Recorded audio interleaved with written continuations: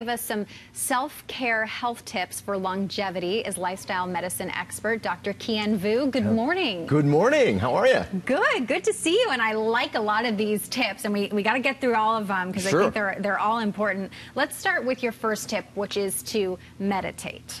Meditate. Meditation is so important. What it does, it, it actually, you know, some people find it very difficult to meditate, but it's very easy. Grab some headphones, do a guided meditation. What it does is it reduces stress. And when you can reduce stress, it reduces inflammation and it puts you in a peaceful state of mind. And that's the key thing is just to stay in a peaceful state of mind. So very important to meditate. You can even do apps that, Yeah, that really tons get you and tons of apps. guided Mhm. meditation. Okay, and also we hear it over and over again: exercise. Okay, exercise. Super important. It raises something called BDNF or brain derived neurotrophic factor, and that's like miracle growth for the brain. But what it also does is if you do weightlifting or high intensity in- interval training, it increases lean muscle, which increases years to your life. And if you can't find time to go to the gym, a lot of easy exercises to do at home, in the kitchen, or in the office push ups, lunges, calf raises all those are perfect. Anything you can sneak in there, you got to do Mm-hmm. it. Okay, and then this one is easy for San Diegans: Mm-hmm. sunlight. sunlight. So kind of a two-edged sword. You don't want too much sunlight where you're getting get burned, burned, at right. all. But sunlight is important. Uh, if you wake up right in the morning, it helps. It helps reset your circadian rhythm so you're sleeping better at night. Sunlight also increases serotonin, which makes you feel good during the day, and it also reduces some of the chronic disease that we can get. Okay, I Yeah. like that tip. And then number four, don't smoke and don't be around smoke. Yeah, so there's several things I say avoid completely in 2019. If you could avoid smoke, smokers and secondhand smokers, they actually live 10 to 14 years less than people who aren't as exposed to smoke. Also, if you could avoid sugar, avoid processed foods, all those things are inflammatory, they can lead to chronic disease. Avoid smoke, sugar, processed foods. Okay, and five, community. So it is important for us to have those interpersonal relations, not just on our phone. Definitely. If we take a look at the blue zone countries, uh, Sardinia, Costa Rica, Okinawa, and Japan, they have a strong sense of community. What it does is it allows uh, our bodies to release oxytocin.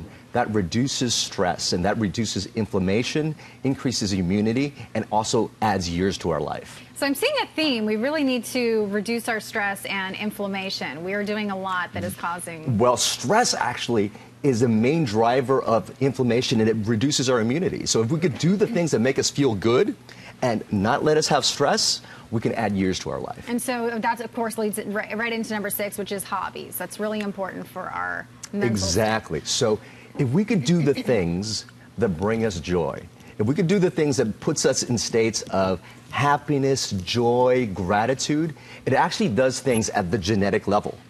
Epigenetics, uh, it's a study uh, demonstrating that there are external cues. If we do those things that put us in those emotional states, it actually drives genes in our bodies, again, to reduce inflammation, increase immunity, and add years to your life. Which is a, an interesting segue into number seven, which you break out as a whole separate category, For but you say sex. It's important for longevity. have lots of sex. Not only do we get exercise, Can, can we say safe sex? Can we just like throw that out there? Okay, all right. the mom in me is done. sex, Okay. right. have more sex. Not only does it give us exercise, but it increases immunity. Those people that have more sex have more IgA levels in their saliva. And IgA levels is a sign of increased immunity. It also activates natural killer cells, also a sign for increased immunity. Men that have a lot of sex have reduced risk of prostate cancer, reduced risk of heart attacks. Wow. And it also uh, reduces, uh, increases oxytocin, which we said in community, Right. very important to reduce stress and keep us from having chronic disease. Okay, and I want to get to the rest really quickly with multivitamins and drinking tea. Okay, multivitamin, we are just, as a country, usually short of having all the essential nutrients. Right. So it's great to have a multivitamin. I would include vitamin D and omega 3 fatty acids. Drinking tea, tea has a lot of antioxidants and polyphenols, which are great for reducing risk of heart attack and stroke and great for our bones. Any particular tea? Green, black, and Okay. white teas. Green, black, and white. Okay, stick with the colors. Yeah. And number 10, I don't even need you to give me an excuse because I'm just going to go take your advice and do it. But you say Right. get a massage. Get a massage. Get massage. It feels great. Again, what does it do? It reduces stress. It increases feel good hormones, dopamine, serotonin, endorphins. And it's also great. It helps with circulation and it helps with our immunity by moving our immune cells around. All these things Makes great. sense to me. I, I'll do it.